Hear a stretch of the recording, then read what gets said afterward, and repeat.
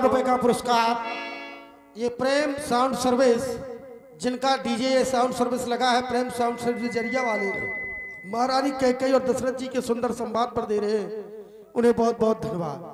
क्या बात है महाराज? प्रात काल प्रातः काल होते ही महाराज प्रतिदिन जाग जाया करते थे।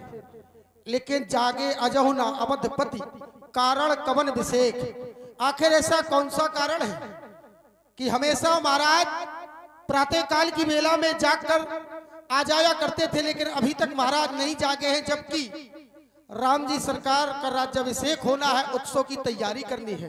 जाओ सुमंत, जगावह जाई। हे मंत्री सुमंत, आप महलों में कहीं भी जा जा सकते हैं, आप पर कोई रोक नहीं है। आप जाए, देखे कारण क्या है, और महाराज को जगा कर लाए। सत्य है। आप नहीं जा सकते, महलों तक मैं जा सकता हूँ। आप यहीं पर इंतज़ार करें। मैं महलों की ओर जा रहा हूँ। गए सुमय तो तब राव रुमाही। देख भयाब जात डराई। ये भयानक दृश्य देखकर आज सुमंत मन में भयभीत हो रहा है। महाराज पृथ्वी पर लेटे हैं धूल घुसत है। महाराज जय जी जय जी। महाराज कुछ नहीं बोल रहे हैं। समीप में महारानी केकई खड़ी है जो हमेशा चरणों की ओर खड़ा होती थी आज सिर की ओर खड़ी है। अचानक ये क्या हो गया? महारानी मंत्री सुमंत प्रणाम कर रहा है। मंत्री सुमन महाराज क्या हो गया? महारानी क्या हो गया? तुम जाओ और राम को बुला के लाओ। जो राम सुमय तही आब तु देखा। आदर की रे पिता समुलेखा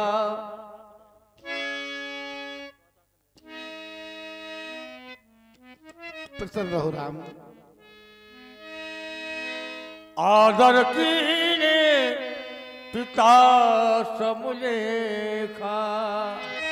राम तुम्हारी मजली माता के लिए तुम्हें बुलाया है हमारे साथ चलो।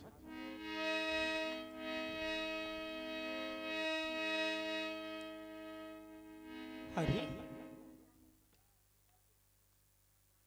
मैया का ये भेष? नहीं ये मैं क्या देख रहा हूँ? अरे पिताजी मूर्छित अवस्था में माता धरती की गोद में सहन कर रहे हैं। पिताजी, क्या हुआ आपको? पिताजी, बोलिए, कुछ बोलिए, पिताजी, क्या हुआ आपको? मंत्री जी, क्या आपको कुछ पता है? ये स्थिति कैसे बन गई? मैया आपके चरणों में आपका बेटा राम कोट कोट नमन। अरे अरे। जीवन का प्रथम दिन। कि मैंने मैया को नमन किया, लेकिन कोई आशीष नहीं, मुँह फेर लिया। माँ, क्या आपके बेटा राम से कोई अपराध हो गया है? जिस अपराध के बदले आप मुझसे नाराज़ हैं। माँ, यदि आपके बेटा राम से कोई भूल हुई है तो उस भूल के बदले आप अपने बेटा राम को चाहे जितनी बड़ी सजा दे दो। ये आपका बेटा राम हर सजा हँसते हँसते स्वीकार लेगा। लेकिन एक बार कह दो ना बेटा राम, माँ, एक बार कह दो ना बेटा राम, एक बार कह दो ना बेटा राम। मैया कुछ नहीं बोलती, पिताजी भी नहीं बोलते। देखिए पिताजी, आपका बेटा राम आपको बुला रहा है। बोलिए पिताजी, क्या हुआ आपको? क्या हुआ?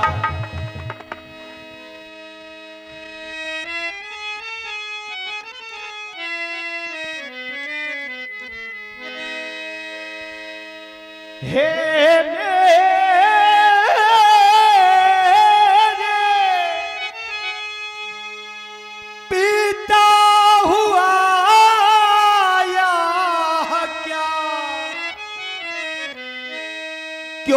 तुमको मूर्छा आई है। या किसी रोग ने घेरा है? या कोई विपदाई है? मंत्री मंत्री, माता माता मंत्री मंत्री माता माता, यह ऐसे क्यों अकुलाए हैं? क्या मुझसे कुछ अपराधे हुआ? जो मेरे रिसाए माँ, पिताजी के दुख का कारण मुझे शीघ्र बताएँ, मैं वही करूँगा जिससे पिताजी का दुख दूर हो जाए। मैया मैया, बोलिए, क्या हुआ पिताजी को? मोह काहू मात। बोलिए, ये स्थिति कैसे बन गई? पिताजी मूर्छित अवस्था में क्यों माँ मोह काहू मात तात।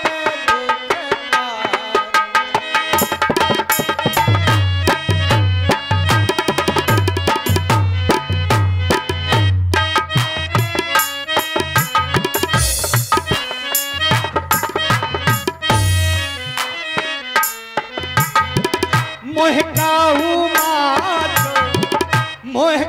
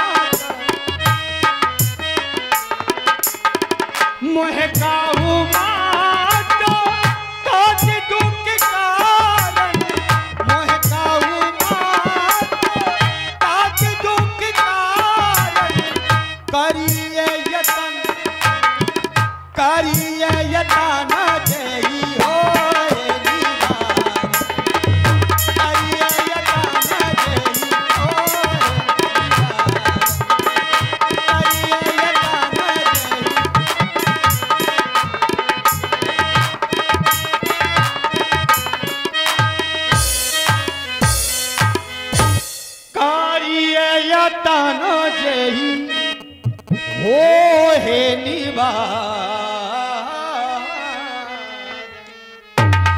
मैं वही करूँगा माँ जिससे पिताजी का दुख दूर हो जाए। शीघ्रता करे कृपा कर बताएँ क्या हुआ पिताजी को।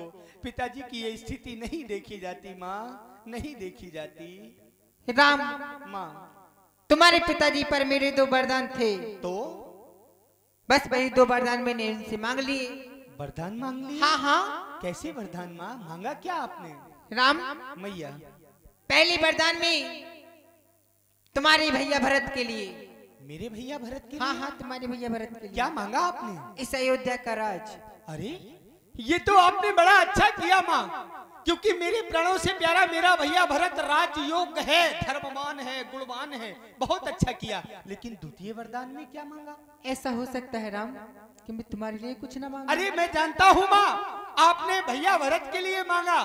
दूसरे वरदान में मेरे लिए भी अवश्य कुछ ना कुछ मांगा होगा। हाँ, तुमने- शीघ्रता करें माँ कृपा कर बताएँ आपने क्या मेरे लिए कुछ मांगा? हाँ हाँ तुम्हारे लिए मांगा है। क्या माँ? मैंने तुम्हारे लिए चौदह वर्ष का वनवास मांगा है। क्या माँ? हाँ।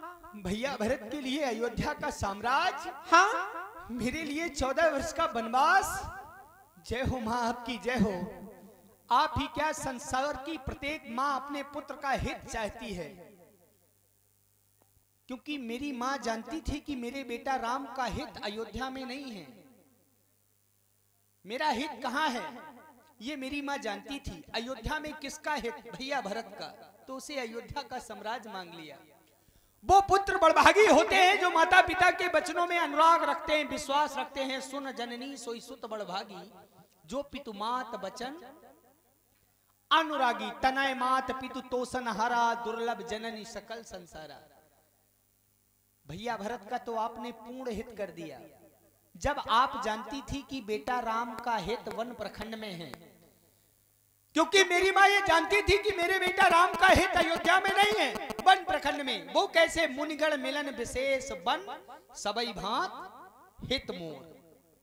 मेरा हित कहाँ है वन प्रखंड में? माँ मेरी ये जानती थी। माँ जब आप ये जानती थी तो ये चौदह वर्ष का समय क्यों दे दिया आपने? चौदह वर्ष की अवधि क्यों लगा दी आपने? जब आप मेरा पूर्ण हित ही करना चाहती थी तो मेरे लिए आजीवन वनवास मांग लेती। सारा जीवन वन प्रखंड में ही यापन करता, क्योंकि मुनिगढ़ मिलन विशेष वन। सबई भात हित मोर, तहमह पित बहुर सम्मत जन्नी तोर। लेकिन चलिए आपने जो मांगा मेरे लिए वही सर्वोपरि है। लेकिन माँ, आप मुझसे छिपाव कर रही हैं, मुझे ना जाने क्यों प्रथम बार आपकी बात पर विश्वास नहीं हो रहा है। क्षमा कर देना आप अपने बेटा राम को हाँ हाँ क्योंकि इतनी छोटी सी बात पर रकुल के सिंह इस तरह माता धरती की गोद में मूर्छित हो गए। कारण कुछ और है, क्या छिपा रही हैं आप मुझसे? क्योंकि थोड़ा है बात पिता दुख भारी होत प्रतीत ना मोह मातारी क्या छिपा रही हैं? क्या सत्य है माँ? यही सत्य बेटा राम। मैं भरत की सौगंध कह के कहती बस हूँ। बस बस बस माँ बस। भरत की सौगंध? हाँ। बस माँ मुझे पूर्ण विश्वास हो गया कि बात यही है। यदि बात यही है माँ तो हम स्वयं विचारा करते थे थोड़ा सा समय बनों में दें तब जानेंगे हम दुख क्या है कुछ जीवन दुखी जनों में दें। तो माँ यदि आपकी अनुमति मिल जाए तो चार पदार्थ करतल ताकि प्रीपित मात प्राण समझा के विदा मासन आबह मांगी। चलियो बने बहुर पग लगे। कहे मेरे लिए क्या आदेश है? जाओ अपनी माँ से आज्ञा लेके आओ। जय हो आपकी जय क्योंकि पैदा होते ही तुम्हें वन पास जाना। अवश्य। शीघ्र शीघ्र मैं आशीष और आदेश लेकर आपके चरणों में प्रस्तुत हो जाऊँगा।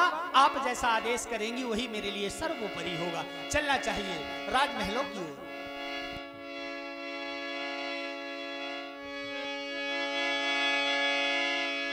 समाचार तय समय सुनी। सी उठी